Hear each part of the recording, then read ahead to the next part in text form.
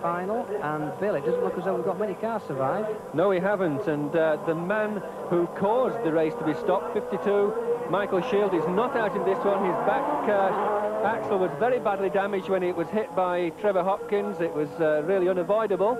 In conditions like you see at the moment, this is exactly where Shields went off, but no problems for the cars this time and it's Mark Rennison, the current championship leader and the reigning title holder, who's out there in the lead with John Welch right behind him, then Dimi, and then Barry Hathaway. We've only got four cars in this A final. Let's just see what, oh, and look at the way that John kept that car together. He shot through using part of the circuit, part of the infield, and he was through. And I think he's filled in Rennison's screen because Rennison started going backwards instead of forwards there for a minute. That was the most incredible overtaking manoeuvre I've seen for a long, long time. There was no way John Welch could get that car through there.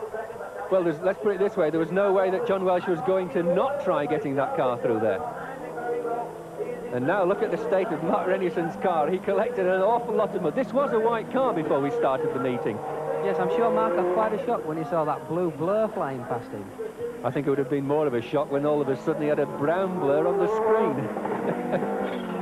anyway, back to the racing, and Dimi Mavropoulos now is uh, closing on Mark Rennison, but Rennison's been caught out once, and he's now got a clear screen, and I don't think that he will uh, in any way let Dimi pass him. I think that uh, Mark, oh, putting the power on too soon there.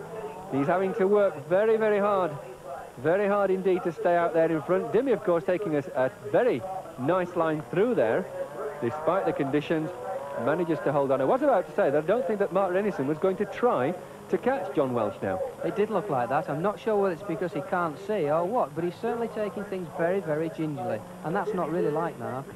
No, quite right. And Dimi now is catching Mark. Mark is having all sorts of problems. Dimi streaks past. Now, I don't know where Dimi found the grip from. I know it's a four-wheel drive car, but suddenly he went past there as if Mark was on the uh, on the loose and Dimi was on tarmac. Yes, it's okay saying these supercars have got all the advantages, but you've seen already the problems that the smaller engine cars have had, even given the fact that we've got four-wheel drive. Just imagine the problems these drivers had with the amount of horsepower. Well, Mark's car is definitely steamed up on the inside now, so maybe he has got visibility problems and contrast. Uh, John Welch has got an extremely clear screen, and let's see how much of a lead he's got over Dimi. Waiting for Dimi Mavropoulos and the Quattro to come into view. There he is, Dimi, some way back. He too appears to have a clear screen where the wiper is working. Now look at uh, Mark Rennison.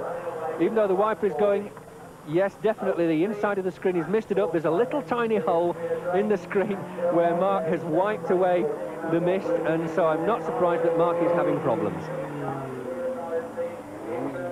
So they go through completing another lap. John Welch well on his way. There are the brake lights from Dimi's Quattro. Mark Rennison going over the finish line. There is the man in the lead. His car relatively clean. He hasn't had to follow anybody for too long. And of course, it's clean both on the outside and on the inside. Now, this is where, where John made that spectacular overtaking manoeuvre. And look at the car control as he throws the car into the top corner. But ah, that's a bit risky manoeuvre. He's not really got anything to prove now, has he? No, this is true. He's nothing to prove now. It's just a matter of holding it all together. No more mistakes. Just hold it together to receive the checkered flag. Well, lest we forget, Barry Hathaway is still out there. He's down in fourth spot. This is the man that's currently in the lead. And, of course, this Formula A A final is all about points. And I think that John Welch, he was only two points behind Mark Rennison when they started the competition today. And I think that if the order stays like this, then John Welch will have taken that lead back from Mark Rennison. That, of course, is what John would dearly love to do. It's his first season with this Vauxhall Opel. four-wheel drive. It's the Xtrac system. He's got some 600-plus brake horsepower from the Opel Manta engine, and it looks like he's about to come up and lap Barry Hathaway.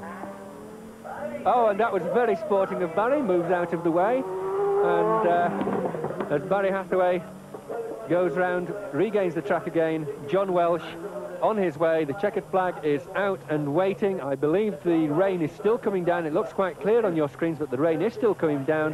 Where is the checkered flag? There it is, John Welch. A very good win, some terrific driving in that opening lap by the Vauxhall Opel driver. Where is the second place man? There he is, right at the back of the field. You just saw him momentarily, so John wins by almost half a lap. Dimi coming through now. There is Dimi Mavropoulos, takes the checkered flag for second place.